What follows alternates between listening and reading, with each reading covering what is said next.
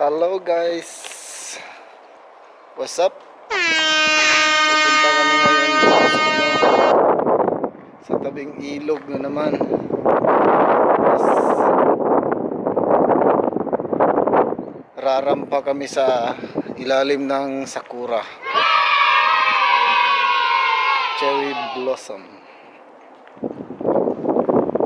Kasi taon-taon dito sa Japan every spring yung mga hapon talagang rumarampa sila sa ilalim ng sakura.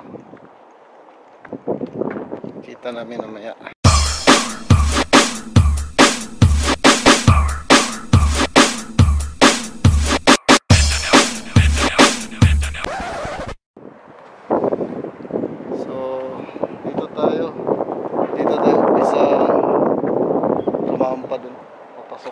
ilalim ng sakura tree Tadadan.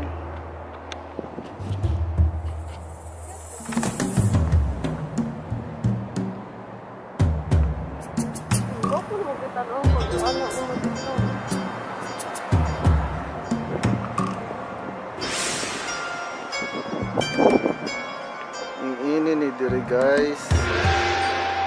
Kikita mo talaga yung mga hapon mag effort talaga yan sila pupunta sa ilalim ng sakura.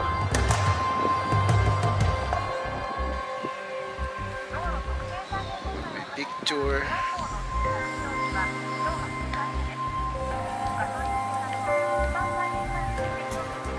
Picnic.